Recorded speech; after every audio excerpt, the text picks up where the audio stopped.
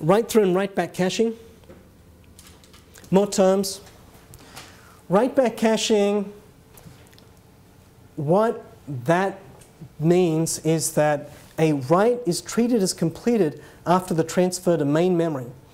And it's then written to disk sometime later asynchronously. Well, that makes performance go really fast if I'm an application because if I, whenever I do a write, it just puts it in main memory and then says, oh, I'm done. That write completes. And main memory is DRAM and DRAM's faster than disks.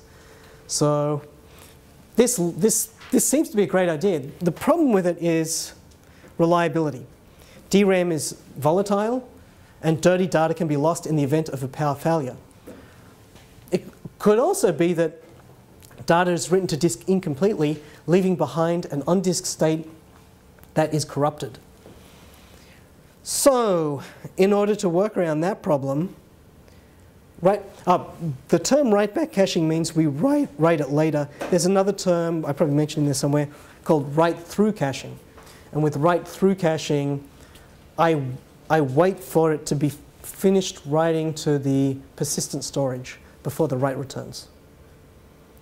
Um, write back caching means write it later. I really don't like the terms. I wish the industry had called it, I don't know, write later and write now. Um, that might, well, write synchronous or write later, I don't know. Uh, write back and write through is what, what the industry calls it.